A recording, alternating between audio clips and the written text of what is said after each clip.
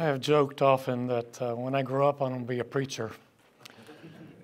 I have tried to be a teacher all my life, and um, it has taken me abroad. I've lived about 28 years abroad and uh, been back in my state of birth uh, only these last two years. I'm a McEwen, Nashville native, uh, sing country music, and, uh, but uh, I sing Italian songs as well because my father, without my permission, took me when I was four overseas, and, and I haven't looked back since. My son is over there right now directing a group in uh, study abroad. That's what I did for a long time, and uh, and then anyway, it's uh, great to be with you again. Normally in the spring, I'm not here. I'm on the other side of the of the ocean, but uh, I came to babysit my 90-year-old father. If you know him, his name is Earl Edwards, and he does not need me. He's 90, going on 70, and uh, uh, what did I do that for? anyway, it's great to be with you. Um, I uh, have chosen to uh, do a little bit of introduction. And uh, uh, speaking to preachers, uh, this is automatic stuff that we should know. But I did look back in my particular experience, and I've preached from Mark, not always in the English language, but in one of the one, other ones that use in Italian congregations. But uh, I found it easy to, uh, to organize thoughts or to have jumping points in, uh, in thoughts. So let me start right here. Looks like it's going to cut part of my thing off on the bottom, but that's all right. We'll, we'll go from there. I use PowerPoints, that's the new, uh, but I'm not a master at it. There are some of you as preachers that are far better. I'm not trying to impress you with artistry here. But I, uh, I uh, am going to do two things. One, I want to do a little bit of a walkthrough of uh, introduction to Mark, simply because I saw that the other uh, speakers, uh, Brother Mike Moss and uh, Brother Burleson, and they're doing very specific topics and understand why in this kind of a, a situation you do it. But walking where Jesus walked. That means all of Palestine. all of Palestine in 40 minutes. Okay. Uh, I wouldn't be the one. I've told Gary, wherever he is, the really the guy that should be here should be Dr. Dale Manor. He's the archaeologist, best friend of mine in the years that I served over in Greece, and we had many groups together going all over Pauline uh, sites, Corinth, Ephesus, etc. Those are my cup of tea because over time I've done about 45 uh, groups abroad in those various places. But Israel is so dear to me. So at the end, I'm going to stop with a prayer. My uh, good friend Rami Abu Hanna, who's a uh, Anglican um, guide, speaks English very well. I don't speak uh, Hebrew or Arabic, so I need guides in those lands. He has been out of work during the COVID years, has a wife and small child, and then again now because of the war, it started on October 7th of this past year. It's uh, uh, just remember uh, how Jesus looked out from Jerusalem on, on all the people, not the buildings. The buildings were doing fine, thank you very much, but uh, the people. And he cried, he sobbed, you know, uh, people that need God. So pray for Israel and pray for the Palestinians, uh, all of the above. Can't go there right now, but I hope that you go there sometime. That's my prayer because walking down the Mount of Olives and hearing uh, the cacophony, the sounds of uh, conflicting monotheistic faiths, the call to prayer five times a day of, of Muslims, and then hymns, uh, I heard some Quakers one time in a church in Bethlehem, and uh, it was surreal because they were all hymns that you, you, you know and you sing. And we joined in with them, and they were surprised because I had young people and they were older folk. And then, of course, the Orthodox Jews with their, uh, with their psalms and their Friday afternoon, everything shuts down and not even elevators work, and you better not drive a car either. It's a very surreal environment. You need to go one time in your life. Put it on your bucket list because this ain't going to do it, okay? this ain't going to do it. Can't take you in 45 minutes to all the places that are there. Walking where Jesus walked. These are a couple of observations. Uh, we are privileged. I was two years ago in Athens, Greece, and uh, there was uh, a group of um, Farsi speaking and Arabic speaking Iranians. They prefer to call themselves Persians, by the way.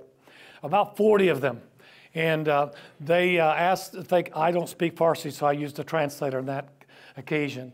And they asked if they could ask some questions. They came, of course, from a Muslim background, okay? And by the way, there is not an official life of Muhammad. I studied with a Muslim scholar at Florida State one time, and I do know as much as we can know about the life of Muhammad, but they know nothing. They don't do that. Here's a major difference between Christianity and Islam. They don't, it's not what you do and, and said, it's, it's just what he said. The Quran and uh, the other holy writings of that are, are the collection, when he died suddenly in 632 BC, AD, he, uh, of, the, of the, what the disciples of his put together that they remembered he said. And it's very hard to read, even in English, and uh, it's not a narrative, and Mark is a blessing. That's where I'm at, okay? And by the way, Matthew and Luke and John are too. What they asked me, and I tried to give them the best answer I could, was why in Christianity are there four why are there four biographies of the life of Christ?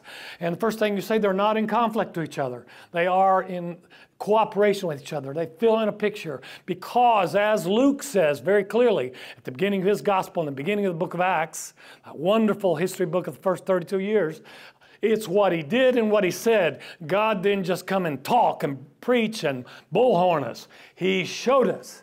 He didn't talk about servanthood, he did it. and that's something that to a Muslim you got to stress. We have four biographies. And by the way, what's your favorite?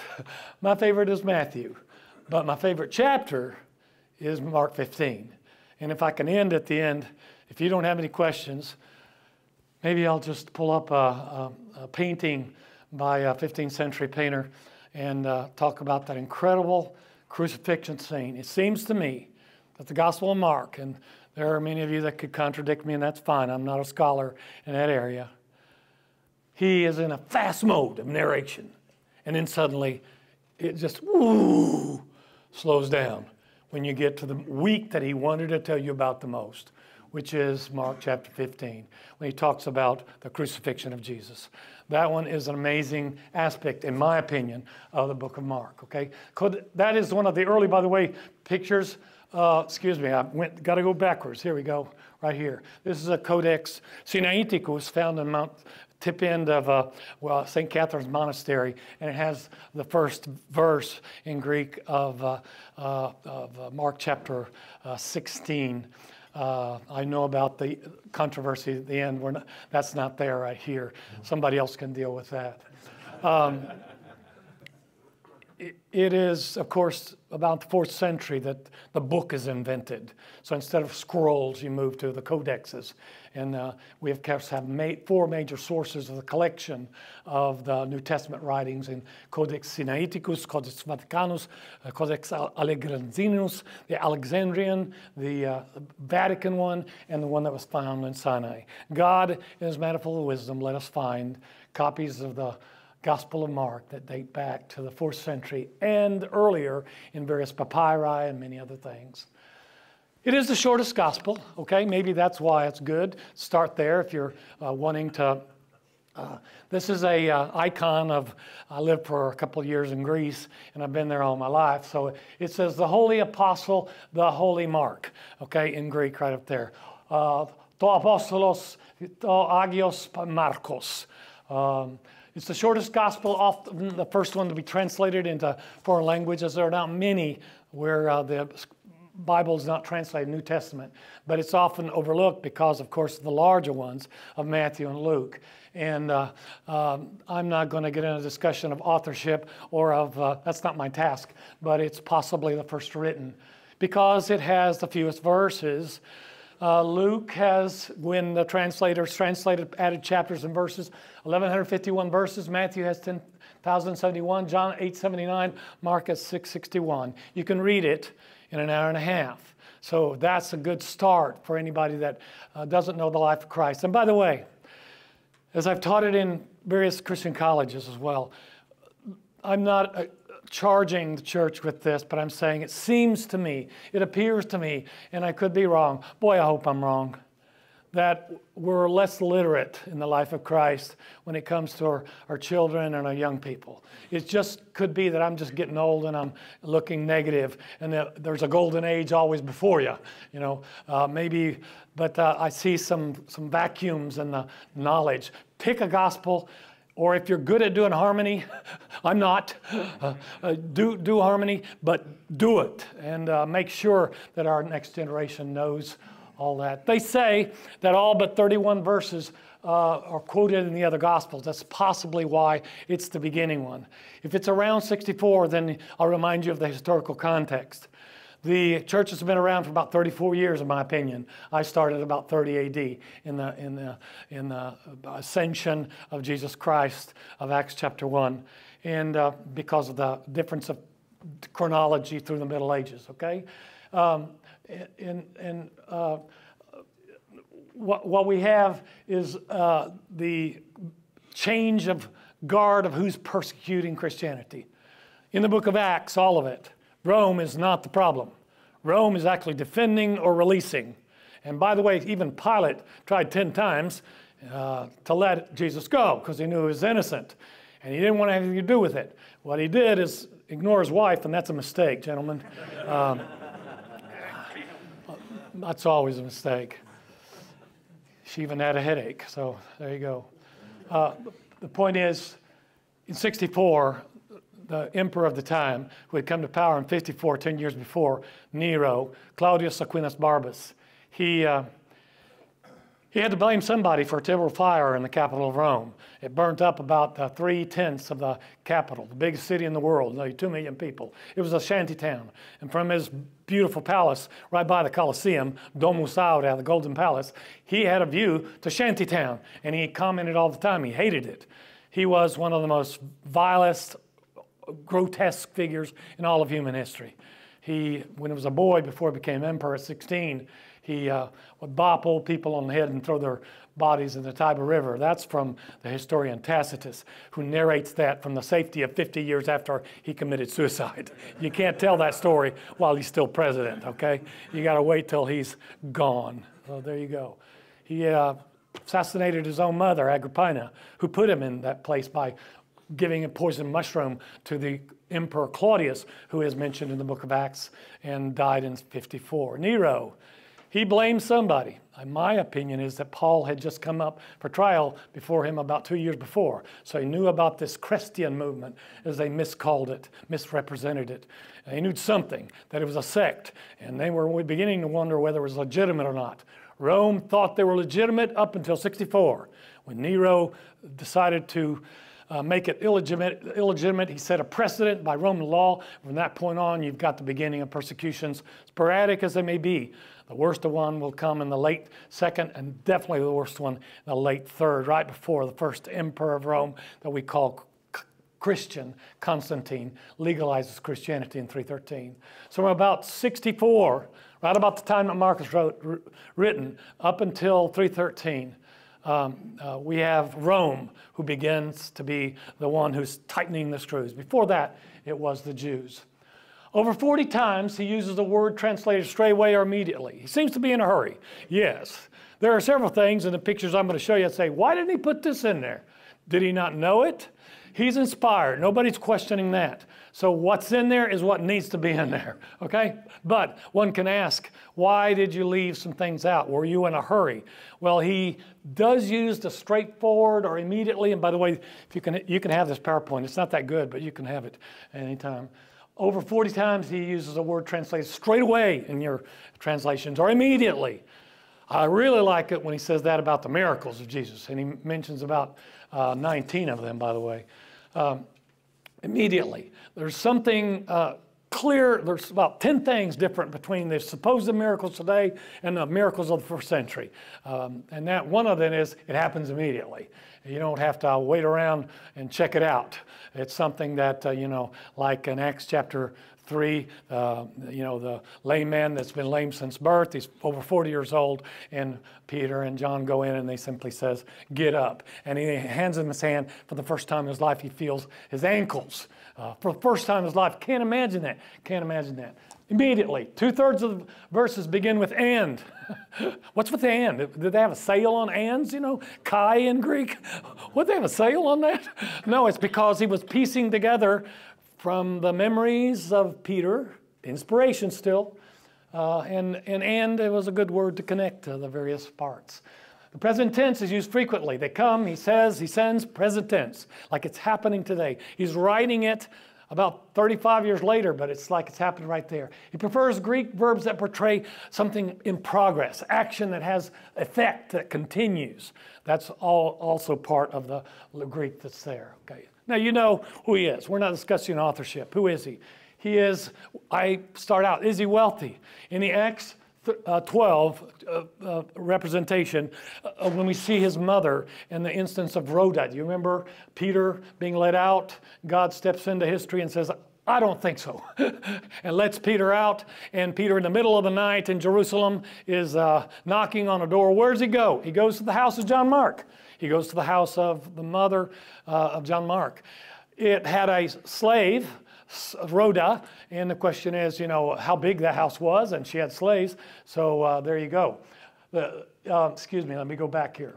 Uh, the young man who fled naked. That's, of course, uh, one of the suppositions. I don't know how you feel about it, Doug, but uh, it seems strange that the name would not be given or that it be mentioned at all unless it's very personal to the person that's writing. Um, he's a cousin of Barnabas. I've always wondered about that as I uh, have traced the footsteps of the Apostle Paul all my life. And I've been to many places except for his birthplace. I've never been to Tarsus because it's right on the border with ISIS. Something tells me not to go there right now, but and uh, the uh, civil war with the Assad regime right now. But um, uh, Barnabas wants to trust him. Paul is absolutely disgusted, or whatever you call it. He deserted me is a term that's used in Acts chapter 15. He is not coming with me. That young man let me go. I imagine a scene kind of like, uh, ever seen the movie Princess Bride, anybody? There's a giant, he's climbing up.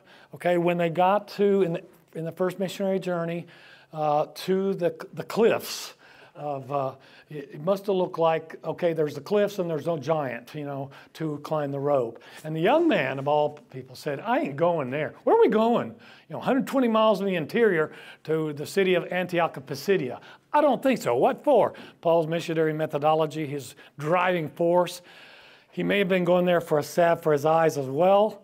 He says in the letter of Galatians, I came to you because of an illness. So that may have been the reason. 120 miles and you have no giant to climb a cliff. That's probably why I think John Mark is going to convince us he was right in aborting that trip right about that time. But I could be wrong, okay? He's a fellow laborer. What comforts me is that at the end of Paul's life, when he writes 2 Timothy, he mentions Mark. And by the way, if Catholic tradition is correct, then Peter died too in about the first persecution of Nero in the year 64 or early 65, something like that. Peter and Paul are said to be the two apostles that were killed among about 990 others. Martyrologies of the time, you can't count on the numbers, but there are archaeological evidence to the death of the two apostles uh, that were there. Why was Peter in Rome? I don't know. Paul, why did he go back if he was released two years before, approximately, by the Emperor Nero? I don't know. But a cataclysmic event, somebody probably was uh, fixing pork and beans in the shanty town of Rome, and it spilled over, caused a gigantic fire that then had to find somebody guilty. They were accused of setting the fire. They were innocent. Everybody knew they were innocent.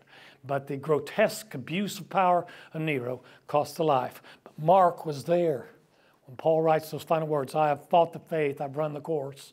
When he, he's, right, he's there together with Peter. There are some strange traditions that I'm just going to mention and move on. Hippolytus of Rome says, no, he wasn't that guy. He was another John Mark, another Mark. Uh, that was one of the 70 disciples. We really don't have evidence for this, so I would simply say it's not, uh, it's not uh, legitimate. Eusebius, who wrote the first church history, uh, uh, Historia Ecclesiastica, he said he was picked up by Peter as a companion and translator on his way through Asia Minor.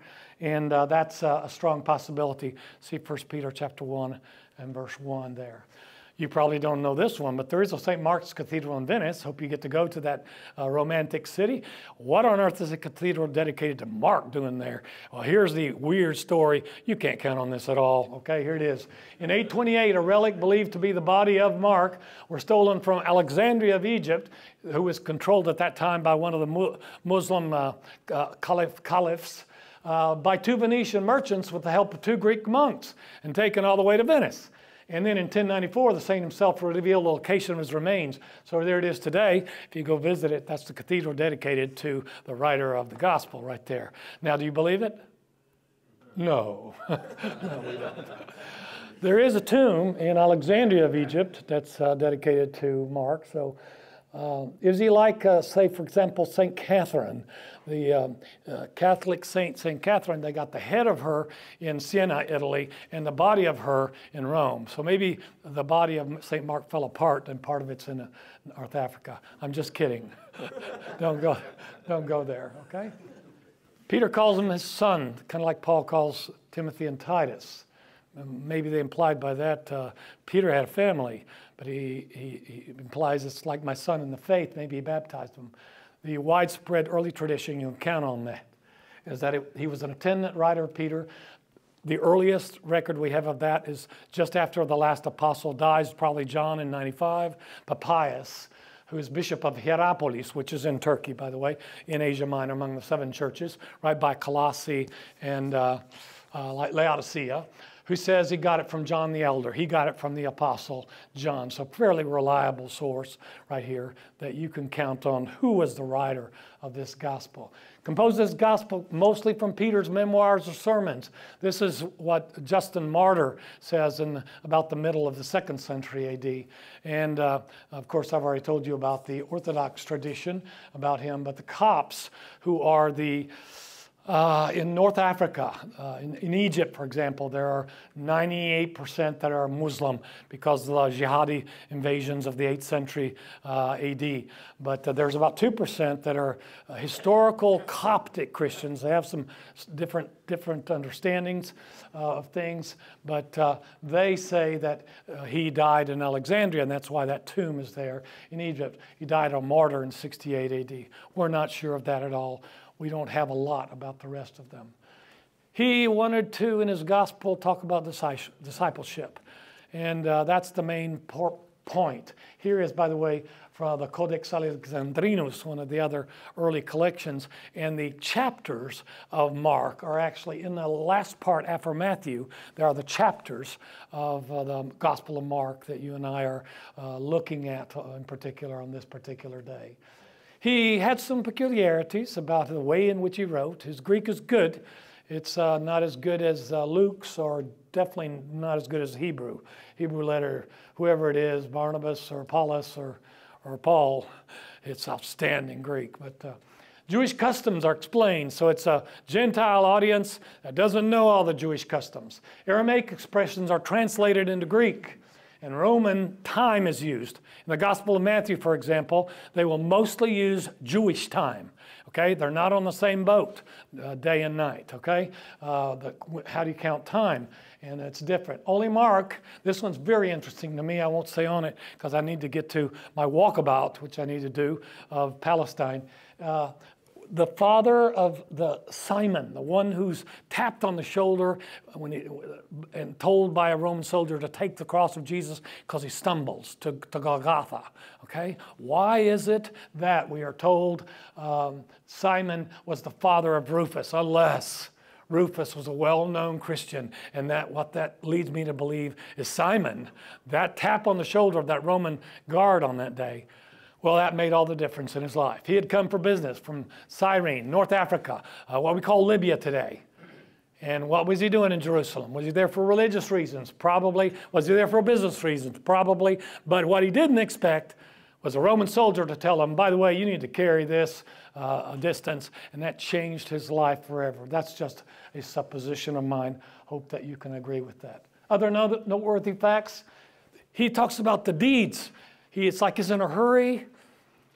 Peter and Paul are either dead or, or we're losing them. And so the, the witnesses to the accounts, we need to put it in writing now. The last apostle, I think, will be John to, uh, you know, dis- to disappear, probably around the turn of the year 100 in Ephesus. That's where his tomb is, at least, uh, in Ephesus Basilica there. He records 19 miracles, but only four parables. So there are 27 parables, I think, between the four gospels, but only four parables, okay? So his teaching has less of a place in this uh, shortest of all, but his, his miracles, and you're supposed to ask yourself, how can you do that? Okay? If you're a Gentile, if you're coming from a Gentile, how have you ever seen a real miracle? Hundreds of witnesses, thousands of witnesses, 5,000 fed, 4,000 fed. Go ask them. You can. They're still living, some of them. The deeds he will emphasize of one who came not to just talk, but to do and to be a servant and to teach us how to be servants as well. So here's our world. Can we, is there any way to turn some of these lights out and still see? Because it bleaches out a little bit. Thank you. I may, I may be asking for what you don't want here, but please feel free anytime to stop me because question and answer period means the speaker can't kill the audience. okay, but and uh, and luckily we've got comfortable chairs, but I'm going to walk you through as much as I can. Let's go back 20 centuries ago, in uh, God's manifold wisdom, as Paul calls it, it's the fullness of time. Paul can't believe that it's uh, his time when he was born. He was probably in the first decade AD. But uh, here it is. Every, the world of that time, 80 million something people, is, uh, is owned by Rome. They came out of nowhere eight centuries before. They were absolutely Podunksville. Nothing. Seven hills in the middle of that peninsula there. But by the time eight centuries later, they got 30 legions patrolling the whole world, and they have the biggest city in the world called Rome. if you ever got to visit it, you'd be, of all the buildings, eight story high buildings in the Jewish ghetto, and of course, those entertainment centers like nobody had ever seen in their life. You know, Circus Maximus, chariot races. Their version of NASCAR, Formula One, is a 250,000 seating, okay, just so you know. That's an eighth of the population, the biggest city in the world. Coliseum is Podunksville compared to that in numbers. It's 50,000, but you can have real live gladiator shows. You can have live uh, naval battles because they can flood it halfway. And uh, also, you can have wild animal hunts, like bring in massive amounts of dirt nothing like Rome. Nothing's ever been seen like it. And God looked down into history and said, This is when. Again, I've joked before. I would have said, Let's do it. Why did he say it's still the 21st century? We have internet. You know? No, that's not. Uh, he, 20 centuries ago. This is the world of the time. That's where the center of the earth. Look at this as a concentric circle. That's the middle. Everything's happening there politics, money, uh, military, the military machine of Rome, no one, they thought, they thought they'd be there forever, okay? And yet God sent here. And he's, in his plans, it's just 150 miles. And by the way, this is the Holy Land. From about southern part of here, it's 150 miles from the southern part of Judah all the way to the city of Damascus. Once you hit Damascus, you're out of the, the promised land. You're out of the Holy Land. It's just 150 miles. You can drive that in two and a half hours if there were a straight street, straight road in, in uh, in Palestine. There is not. okay. Uh, you would have to go along the coast and then cut across or go on the other side because, uh, boy, it's uh, one different world here. This is the world where God sent his son. Jesus never left Palestine. Walk where Jesus walked. He never, never went. So imagine the fear of the apostles when at the ascension he said, Now I want you to take everything I taught you and take it where? And they had never been out of Palestine either. Never. Uh, where, am I, where are we supposed to go? Mouse, mouse gaping wide open, you know, flies flying in. going, say what? Say how? We don't have internet. You know, how are we going to do that? So there it is. That's where the world, Nazareth, you know, right up there. Capernaum, okay. And then, of course, Jerusalem, okay. Birthplace Bethlehem, two years in, in uh, in Egypt to make that parallel with the captivity of the children of Israel in Egypt and coming out of it. There's wonderful parallels that are there in it, okay? Now, here's the topography of the land I was just looking at. Uh, jokingly, I've said it's kind of like God uh, plays uh, kung fu and took a tomahawk chop right here, okay? This is 1,500 feet underneath the sea level, okay? This is the sea. This is 1,500 feet underneath it, below it the Sea of Galilee up there, uh, which is about 600, 700 feet below the sea level, all right? Now look at uh, the mountains, okay? That's why I told you you can't drive straight here. Look at this, okay? Mount Zion, where Jerusalem is, that's 2,500 feet. So from 1,500 feet to 2,500 feet, that's 4,000 feet, and you don't have a helicopter, okay? And you don't have a car, and you don't have a Mercedes-Benz bus. what you got is feet and donkeys. And that's about it, okay? not more than that. I went through each of the chapters of Mark and I looked at, okay, where did uh, Mark record from the uh, notes of Peter? Um, you know, where in each chapter, where was he? Obviously, I can't cover in these last 20 minutes, but I'm going to cover just as few as I can. Some of them are by chapter, kind of, sort of, and I'll get to as many as I can. You can fill in the rest. You need to make a trip over there. Not because you'll find your faith, but um, it will make your faith come alive. I dare say that for some, you'll preach it differently, not because you've found a truth, but because it just makes the hair on the back of your neck stand up when you walk down Mount of Olives. I hope that you can. I know Gary has. Raise your hand if you've been there before. Fantastic. Am I telling the truth? Okay? You will be torn, sad, for the Palestinian West Bank, checkpoints, modern Israel, what are they supposed to do?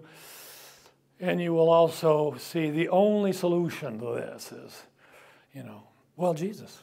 That's the only solution. He came to give peace. That's so ironic because the main mantra of the first emperor of Rome when he was born, Octavian Augustus Caesar, who ruled from the year 31 BC to 14 AD, 45 years nearly. The mantra of the first emperor of Rome was, I bring you peace. And he made, ordered, constructed in downtown Imperial Rome a, a monument to peace called Pax Romana, uh, the altar to peace. He said he brought peace. But he didn't. He was talking about politics. As long as we look for solutions in politics, we're going to fail. The only one who is the real Prince of Peace, as Isaiah said, is Jesus. That's the only one that can do, settle our politics for us when we all become others. Um, I want you to think of the journey from here to here. That's where Jerusalem is. That right there is about 12 miles. That's where he starts. He starts with John the Baptist. I'm reading. At the beginning of the gospel of Jesus Christ, the Son of God, as it is written in Isaiah the prophet. And then verse 4 John appeared baptizing in the wilderness. He starts out in a quick fashion. He doesn't talk about his birth, he doesn't talk about the years in Egypt. He doesn't talk about, he's already an, an adult, he's already 30 something years old he skips, you know, got to get to the week in history that matters the most which is his, uh, you know, triumphal entry, uh, sparring in the temple with the Pharisees and Sadducees, and then his surrendering the Garden of Gethsemane, that tragic kiss of Judas on the cheek, and then, and then of course, those six trials, all of them illegal, especially the Jewish side, and then, of course, allowed himself to be pierced through. Uh, didn't call on the angels, and it was on that cross about seven hours on that Friday. I am again supposing some things there. And then, of course, there's that feeling that the, the, the high priests and the, and the Pharisees and Sadducees had. Did he say something about he'd be coming back? the apostles were scattered in a, closed doors behind a, a place in Jerusalem hiding. They were scared to death when they had run from the Garden of Gethsemane. But they remembered he said he'd be back, you know and to their greatest, you know, fear. You know, 16 Roman soldiers, or however many, come running at them saying, uh, We have been trained to fight men, but angels, we don't do, okay? And, uh, and so they said, We'll pay you to tell a lie. And Mar- Matthew will say, That lie has been still fed to people 35 years later. You know, what a lie this is. Now, look at the distance between, I want you to, look there and here. That's 4,000 feet, like that okay? Or down, either way. When he starts out telling you about John the Baptist, he picks up right there in about the year 30 AD, or 27 AD, excuse me. And John the Baptist, the cousin of Jesus, is, uh, is, has come away. He is living in the desert area. Uh, this is supposedly found by an archaeologist that it's kind of, I'm skeptical of it, a cave of followers of John the Baptist. John the Baptist will come baptizing the Jordan River. Why on earth did he go 4,000 feet from Jerusalem? Why did he do it in Jerusalem at the Temple Mount? There were uh, nearly 80 to 150, some archaeologists say, mikvahs, which are baptismal pools, where all the thousands of people in Jerusalem, nearly 200,000, every day when they wanted to go to the temple of God, had to do ablutions, which is not for the forgiveness of sins, but so you can wash away your impurities and go into the house of God ritually clean. Why didn't John do them in the temple? Because he wanted to make a separation, a distinction and by the way, it's not the Jordan River. That's, uh, you know, the issue. Is that the cave of John the Baptist? I don't think so. Did he wear, uh, did he eat strange foods like locusts with honey? You betcha. By the way, they're not bad, but I wouldn't recommend them all the time. I've tried those out. Grasshoppers, so, you know, there you go.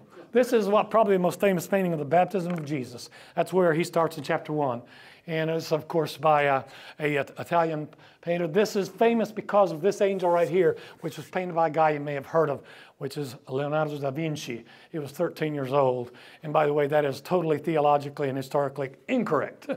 okay, all right. This is not John the Baptist, who's only six months older. Looks like he's had a hard life out there in the desert. And he's pouring a bowl of water. Sprinkling started in the fourth century AD. We have evidence certainly in the Christian catacombs of Rome.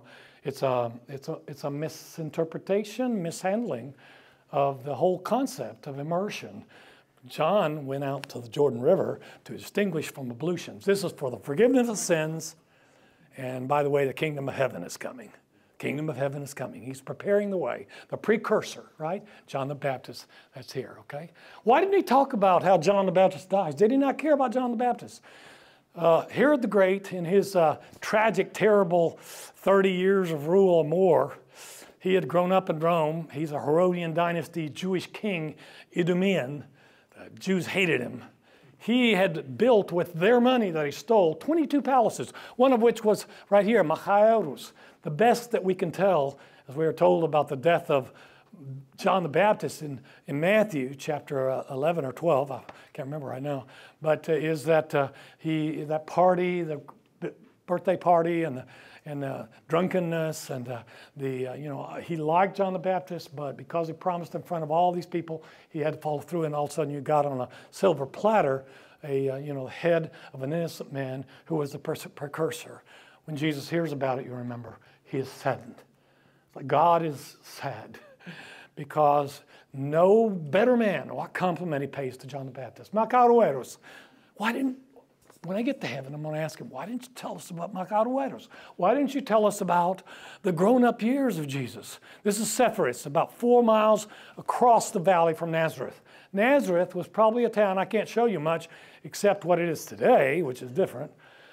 I can't show you much uh, about uh, it, but uh, four miles across the valley, there's the, the very impressive ruins of Sepphoris, which was a Greco Roman city with a lot of entertainment and, and construction projects. Call him whatever you wish. I call Jesus construction. That's what I think he did, okay? Uh, meaning, there's, you don't build tables and chairs in Palestine of the first century. They don't do that. But what they do is a lot of construction, the Greco Roman world. Sepphoris, Joseph may have taken his eldest son and then his other four sons. We know of four sons, of course, and uh, he took his sons to work. They were a big family. The um, Jews didn't do abortion. You know, they were the only ones in the world didn't do abortion. Does that sound familiar? the only ones. And uh, and this is a city with uh, mosaics and entertainment centers and a stadium and all that. Did, did, Jesus help construct some of these items? In those years that are silent, Luke 2.52, right? Um, uh, he grew in, in, in, favor and stature with God and man, okay? Uh, is that what happened between the age of 12 and his father probably passed away and he, he became the main guy, the lead there? This is where the Jordan River is. It comes in to the Dead Sea, the lowest body of water in the world, saltest, saltiest body of water in the world. Jordan River is fresh water, of course. And the um, Jordan River starts way up and, and Mount Hermon and springs there, then pours into the Sea of Galilee. Then it goes down, and uh, it just made, reminds me of the importance of water, you know, and the crossing water you know, in the biblical narrative as a whole. You know, you got the flood, right? You got the children of Israel fleeing from the Egyptians, and uh, God parts the waters, okay? And then He covers them back up. You got the children of Israel coming across the Jordan River. It's not that big a deal. Look at its widest point sometimes, it's like this. You know, this is towards the north. There is a spot now where evangelical Christians, evangelical friends, uh, have made a place where you can easily go in and rebaptize yourself. I tell my students it's not a necessary journey you need to make. There's nothing magic about that water, but to realize the historicity of uh, the, the, the, the small river we have much bigger ones. you know, it's not the size that matters. It's matter what happened on the banks of that river. That's what really matters here. There is the Jordan River as it goes into the, uh, the Dead Sea. It's a desert area. That's where I think John the Baptist was. Forget the cave. Okay, he was in a desert. If you want to go hear him, and he will chew you out for the way you've been living, and you need to repent and do a different thing, you need to go 12 miles downhill okay? Go to a desert area, okay? And then after you're done, you got to go 12 miles up. Why does John do it there? Because you need to work for this. This is not, you need to think about this one. How long does it take you to do 12 miles down and 12 miles clearly up? It's a good thing it was up after they'd been baptized. What do you think? Okay. Here's the Judean wilderness. Wow, that's Jerusalem way over there. You're coming up that. You're coming up, that's the area. They're not kidding about that. Looks like a lunar landscape, okay? Still today, even though they have highways and you can drive it for those who have been there. Why didn't Mark mentioned, you know, the mention of the temptations is very quick, brief, you know. He doesn't mention the way in which Satan, you know, attempted to. But the third right here, here's a model of the temple at the time, and it's in the book of the, it's in the Museum of the Scroll in, uh, in um, Jerusalem and it's 150 feet from what is called the Royal Stoa, 150 feet all the way down to the bottom. It's the southeastern uh, corner of the 13 acre uh, temple and that was being finished right during Jesus' day. Why? That's where Satan took the highest point of the temple to have Jesus. Just throw yourself down. The angels will catch you. Remember that? He didn't mention it. There it is. Capernaum. He just talks about Capernaum. He doesn't say, oh, by the way, Jesus, when he came out for his ministry, went to the Jordan Desert to catch his cousin, was baptized, and then he changed address. Okay? And he didn't tell the post office either. So there you go. There's a synagogue of Capernaum. The Jews will rebel in 66 to Rome. Rome will come four years later and destroy them, the temple, in 70 AD. They will rebel a second time in 132, what's called the Bar Kokhba rebellion, and the Romans will say, okay, that's it, we've had it. You, were, you lost your uh, temple to your only God, you're the only monotheist in the world. You lost that the first time. Second time, they kicked all Jews out of Palestine. Kicked all Jews. In one, by 135, no Jews are left in Palestine. None. Dispersion to the max okay? They already had dispersion. In that Roman world that I showed you a map of, there were about 6 million Jews, 80 million pagans approximately, 6 million Jews. They had more children than anybody else, no abortion, okay? And they tend to stick together. Since the time of the uh, Babylonian captivity, they had founded this institution that's not there in the Old Testament called the synagogue. There is a synagogue right there. It's a school Sunday through Friday, and then on Sabbath it's the worship center because most Jews are not close to Jerusalem. They're far out in the world. By 135, they're all gone from Palestine. All gone completely. And it's uh, unimaginable. And all their synagogues are destroyed, every one of them. Even their schooling centers are destroyed in Palestine by the Romans. They obliterate a Jewish society. We told you once now it's the second time, and there you go. This is where he moves to. Capernaum, or Capharnaum, as it's called now in Arabic. And he moves about 30 miles from Nazareth to Capernaum. This was about 400 people, the best we can estimate. By the way, there was a source that I have not given you called, um, it's a brother in Christ of ours actually that I know of, Richard Batey. He talked about the, the city of, the forgotten city of uh, Sepphoris. And uh, I did give you uh, the latest uh, to get a lot of this information from uh, N.T. Wright. He's an Anglican uh, professor uh, at Oxford now and a Don. And uh, this is the definitive work. It's a doorstopper, and but it has a lot of pictures in it, so you'll be happy about that. so, in, in, the, in the reading, this is where he moves to. Why? This is about 400. This is about 1,500. So it's about three times the size. More importantly, it's right on a major road, and that's where uh, we are at. There are houses. They're made out of black porphyry rock, and uh, uh, you know the House of Peter is what my Catholic friends identify in here. That's, I think, gobbledygook. It's fourth century tradition. Uh, meanwhile, but uh, no evidence of it whatsoever. But this is the city where many of the miracles, a lot of the teachings, he will get mad at this city. If I had done the miracles in Tyre and Sidon, he will say, you know, they would have been more receptive. You, I've done 30 miracles and you want one more, one more, one more. How, what other evidence do you need uh, to this effect, okay? Uh, for those of you who've been there, have you been to see the boat? Found in 1970, good. In the uh, drought year of 1970, whatever it was, the Sea of Galilee sank, and suddenly they saw a skeleton in the mud. The mud had preserved the wood. The wood was going to disintegrate in two seconds flat when they tried to move it, so they constructed a special styrofoam vehicle by which the Jesus boat, as they called it, uh, is a first century fishing boat. And by the way, uh, we didn't have any designs or archaeological mosaics of it or whatever, and it seats about 15 people. Let me think 12 apostles plus Jesus, how that many does that make? Is there room for Jesus to lay down during a storm? And catch a nap. Is there room for that? There it is, the Jesus boat. This is the Sea of Galilee. This is his stomping ground. He doesn't go to Jerusalem. Jerusalem is where the Sadducees rule the temple and the Pharisees rule everything else. They are in charge. And the Sadducees, for sure, want status quo. They don't want anything to change. They don't want a Messiah. They're not going to read the prophets. While the Pharisees do read the prophets, know that there's supposed to be a Messiah coming, okay? But uh, they don't want him to come now. you know, it's kind of like uh, yesterday I had to preach in my little congregation on 1 Timothy chapter 4. The early Christian Aramaic saying for hello was Maranatha. How do you pronounce it? I don't know. Aramaic. You know what it means? It's happens twice 1 Corinthians 16 and Revelation at the end. May the Lord come, and you can add another verb of time if you want to, soon. Do we mean it? May the Lord come soon. May come today. You know, I may come today. They didn't want they didn't want the Messiah to come. The Pharisees didn't.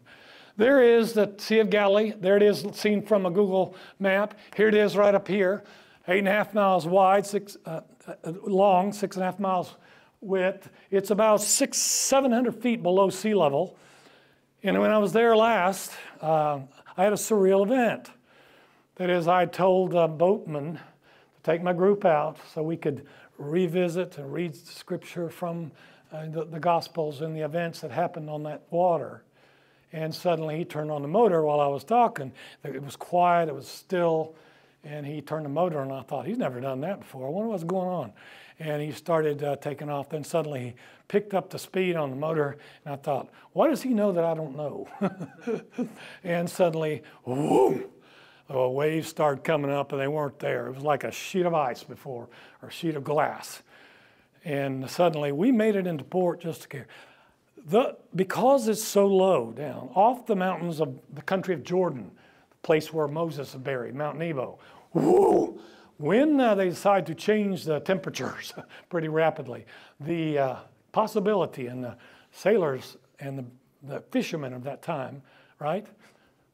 Uh, Mark records the first four called, right? They were all fishermen by, by profession, right? I, I have to uh, wonder if they knew how to swim. Uh, surely they did.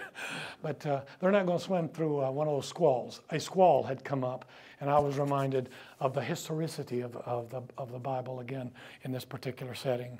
Here is a view of the cities that he will spend a lot of time and a lot of miracles in. These are Jewish cities Chorazin, Bethsaida, and uh, Capernaum.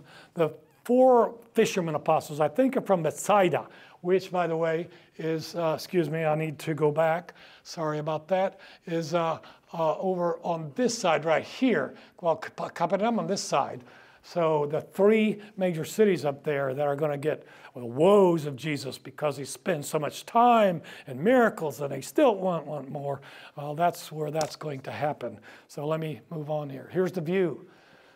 So you need to go, sit down on one of these hills, read Mark, take an hour and a half. That's what you need to do. Nazareth. Today it's 70,000 uh, Muslims. It's a Palestinian city. And I'm out of time. There's the Church of the, the Holy Annunciation. Um, this is an excavation that's being done in the last few years on first century Nazareth houses. 400 people at the most, 70,000 today. The only active with a sign outside church in the Middle East that I know of is here. You need to pray for Maurice Chaton and his wife Iman because he is in these 80s and he has two sons that went to Freed. One of them or both, both. And uh, they are there holding up the fort. You can't evangelize publicly. You can't in a Muslim city, even though it's Israel. You can't do that. But you, they are the only ones that are allowed to have a sign outside. Go there, encourage them, visit, tell them you hang in there. You know, do you feel privileged to have all the support like we have right now? We can freely come together like this and evangelize publicly too. You can't in Nazareth. How sad. But that's part of Islam as well. He's going to talk about the parables. Who's going to talk about the parables? Yeah. The Cove of the Parables. I don't know if historical, but I know that it's interesting to see that you can have a little boat in what's historically the Cove of the Parables, just south of Capernaum towards Tagbatha, or Tagba. And it's right here. And the acoustics in this little place, you can sit on the edges, the acoustic from the boat. Jesus was looking in the second and third year when the crowds were assailing him early in the morning to late at night. He was looking a place to rest. And instead, they came all the time. And uh, so he, he came away from the shore and was speaking to them. One day, he totally talked about parables, right? Matthew chapter 13 and his apostles saying, What's going on? okay, you've used them before, but I mean, all you did is parables today. By the way, uh, we don't get half of them. okay, well, what's going on there? He has to explain some of them. Okay, why did you uh, upgrade your teaching method to a teaching system, the parable that already existed? He didn't invent it, but he perfected it. He's the master teacher. And he said, Listen, I've been talking for a year and a half. I'm, I'm putting words in Jesus' mouth. Watch out. and uh, they're not listening to me. So I'm going to make it harder for them to understand. If you want to listen to me today, my preaching just went up a notch. Okay? So you're going to have to use your thinking cap on this particular day. There it is. He will cross over to the other side. The other side, the Decapolis, that means 10 cities, a Roman organization of of the uh, area. Okay, there are the cities that are Jewish, the green. On the other side are where, well, bacon and pigs are. okay, that's where they are. And of course, somewhere here, it can't be Gadara, it has to be near close. The 2,000 pigs go running off into that area. This is the area on the other side of, it's in the country of Jordan, by the way, uh, in modern day times. He will feed 5,000. There is in a catacomb of Rome one of the many, many times in the 40 miles of underground cemeteries of Christians when they, they put miracles. They, they, they believe in the resurrected Christ. The most important word is anastasis, which is resurrection. That defines everything. And by the way, a cemetery, it comes from the Latin word cemitarium, which means dormitory, and uh, th- things they're buried in, they're called loculi, which means beds. These people are in a dormitory, they're sleeping until the big alarm clock comes at the end of time. It's called the second coming, the Advent. That's what they believe. What do we believe? May the Lord come soon, right? May the Lord come soon. Here it is, right here in mosaics, a miracle, the day that uh, he fed 5,000 people uh, with uh, loaves and fishes. This is a Catholic church. um, the first time that somebody Christian, and I'll use that term loosely here, came to Palestine to look for sites of Jesus was the mother of Constantine. Helen was her name. Now, she identified a lot of places that are questionable, okay, because it was by tradition. Well meaning Christians wanted to, to believe in those particular places. So, some of these are like the Sermon on the Mount uh, site. It's a beautiful site. There's a Catholic church. Um, Catholic nun there allows me to have our group sing in their chapels there, and uh, they uh, appreciate it. But uh, uh, I'm not I'm not sure of some of them because again sometimes we want to find well Noah's Ark or the Ark of the Covenant. Uh, I'd love to find those. Wouldn't you think? We'd make a museum out of it. We'd put it in Kentucky. okay, so there you go. He will go to Tyre and Sidon. Why do you go there? I'm walking through he goes there because these people over here, Bethsaida, Capernaum, and, and uh, uh, the, the, third city, are uh, not listening. So he goes to the Phoenicians, to the pagans. Syro-Phoenician woman is healed here. He will go up here to these areas. Briefly, he will step out of when he goes across the Sea of Galilee or when he goes to Tyre and Sidon on the coast, way down on the coast. He will step into pagan territories. But I guess it's surprising to me, I don't know about you, but Mark and all the other synoptic gospels and John record demon possession among the Jews. Why is, why is demon, why is the devil finding fertile territory among the Jews for demon possession? Uh, one of the most remarkable ones is Mary Magdalene, of course. She had seven demons. But uh, the rest of her life, which is the one that matters, is she's the first one to see the resurrected Lord, and she serves Jesus and his apostles and entourage. She's there at the cross, all of the above. Magdala, this is where she was from. Here's a Jewish menorah, and here are ruins that are being excavated of the city of uh, Mary Magdalene uh, the first one who saw the resurrected Jesus, accompanied one of the many women that accompanied the apostles in their trips. Three times during his ministry, he goes from, from Capernaum down to Jerusalem, always on the biggest feast of the Jewish holiday, the Passover. That's an eight day feast, by the way.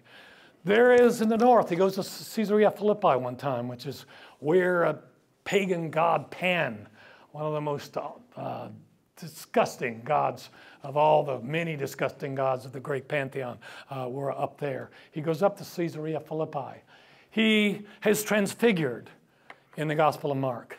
That change, this, like the spiritual body that you and I will have when the end of time comes, you know.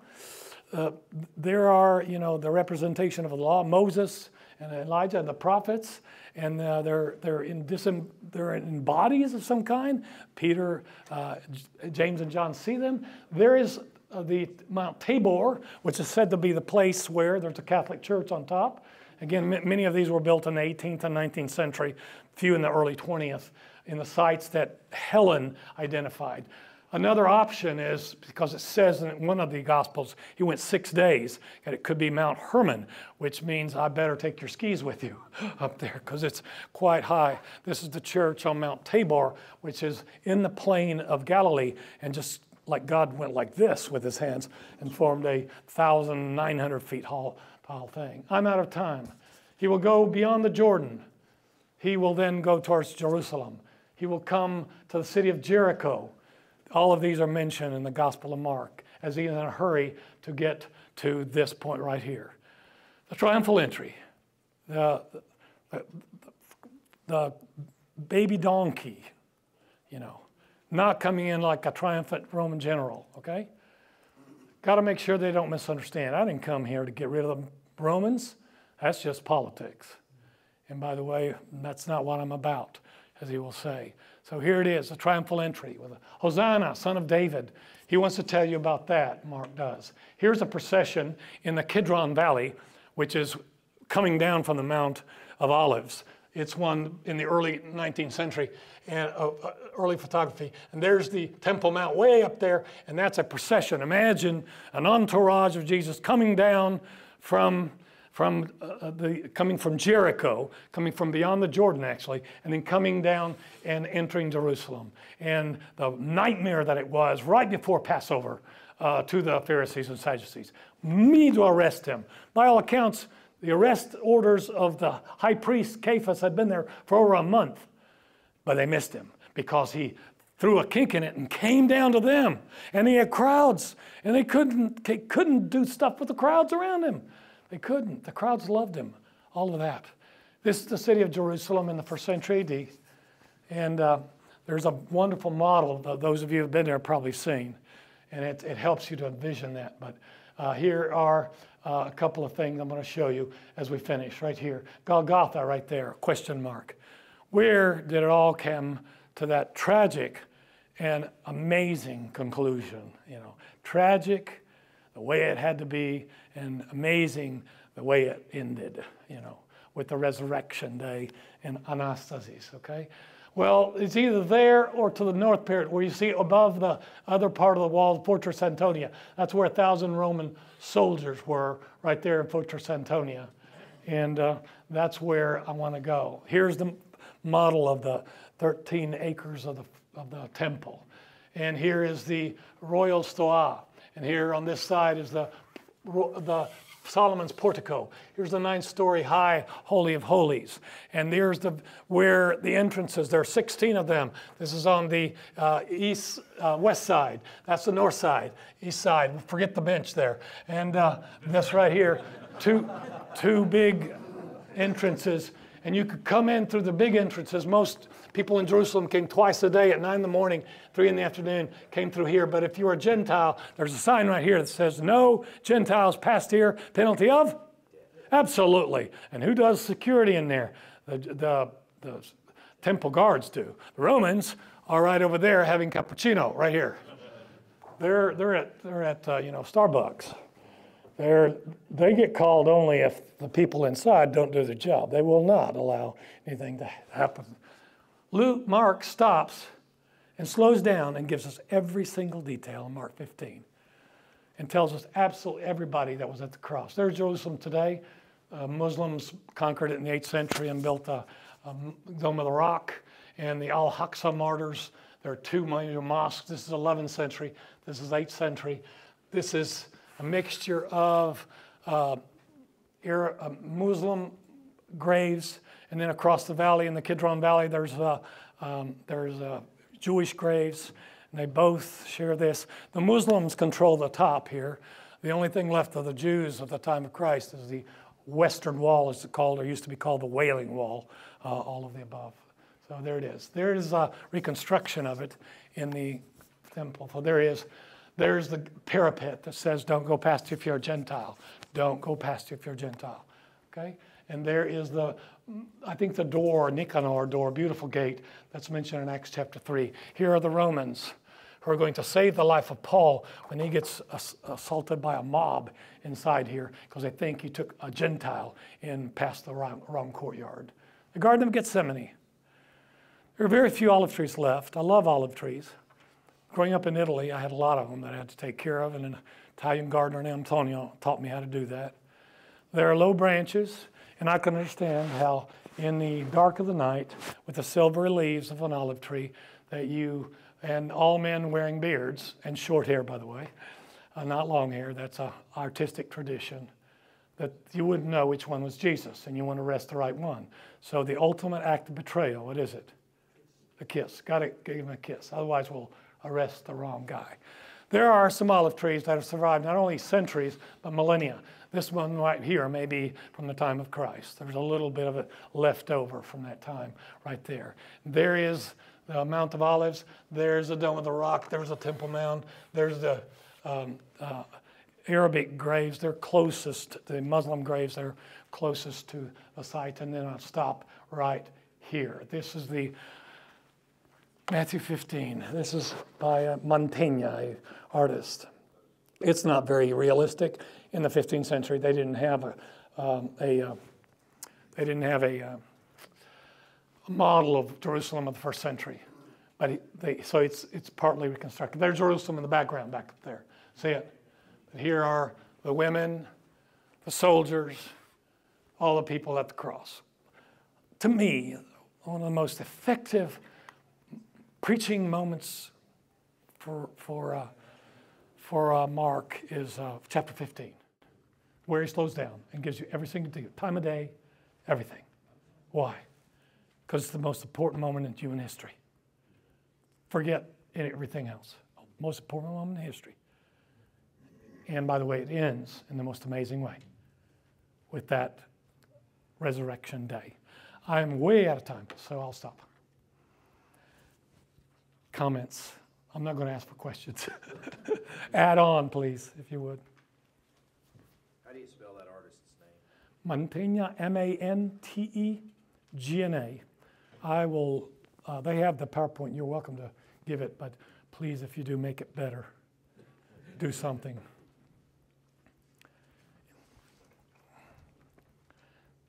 Oh, wow, it kept you a long time. Okay. Any other comments or questions? You need to get up and get some coffee. Let me recommend N.T. Wright's. I found one thing I disagree with him. He thinks there's an Ephesian imprisonment for Paul. I have no idea why. I don't see much evidence for that, but uh, prison epistles I put in Rome uh, for various reasons, but uh, maybe you do too. They were written from that uh, uh, rented apartment in Rome, not a dark dungeon. Um, the dark dungeon will come two years later when he writes Second Timothy. Anything else? Thank you very much.